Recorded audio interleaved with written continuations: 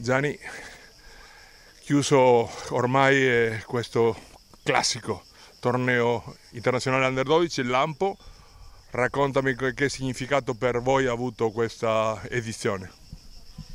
Beh, direi che è stata un'edizione molto molto buona, livello femminile un pochino più alto rispetto al maschile, però tutto sommato è andato tutto benissimo e abbiamo visto giocatori veramente forti.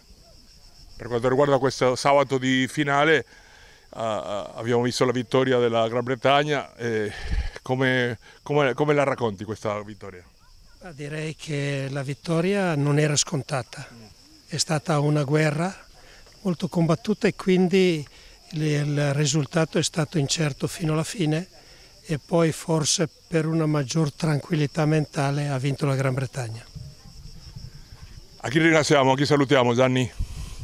Beh, innanzitutto lo sponsor, poi la Regione Lombardia che ci è stata vicina, poi un grosso ringraziamento al Circolo, all'Olimpica Tennis, per la struttura messa a disposizione, per quello che ha fatto e poi direi tutti, tutti quelli che ci hanno aiutati, un applauso anche a Villa Fenaroli per l'ospitalità e la gentilezza con cui hanno interagito con le varie delegazioni.